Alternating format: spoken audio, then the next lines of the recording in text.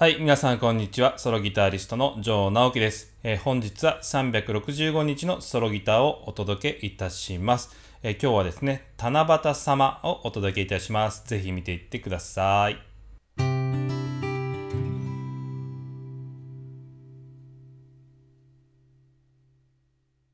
はい、皆さん、七夕様と聞いてですね、あの、ピンとくるでしょうか？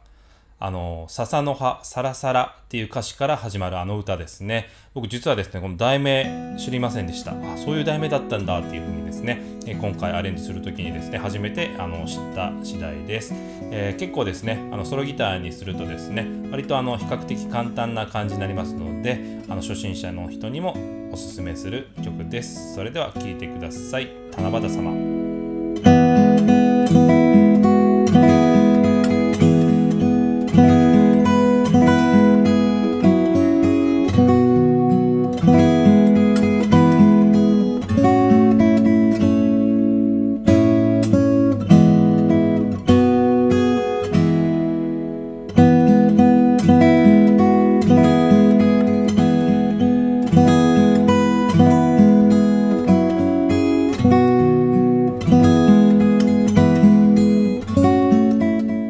えー、七夕様聞いていただいていますけれどもいかがでしょうか、えーこちらね無料の楽譜もありますんで弾いてみたいという方はぜひあのダウンロードしてみてください。それでは演奏のポイントです。演奏のポイントはね最初 C っていうフォームから始まるんですけれどもこの小指を使って1弦の3フレットのメロディーを入れたりとか出したりとかねここが動きます。ここですね。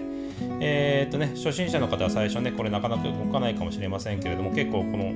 動小指をね動かすっていうことはいろんなところで使いますんで、えーこの曲でですねちょっと練習するのもいいんじゃないかなと思います、えーそれから、えー、と2段目の、えー、と6小節目ですね。F に行くところなんですですけれどもこここのね F はこうやっても親指回してでこういうフォームで押さえてますで2弦の3フレットにですね行かないといけないんですけれども、え2弦の3フレットは小指で押さえに行っていますと、まこれも結構よく使うフォームなんでぜひ覚えておきたいフォームです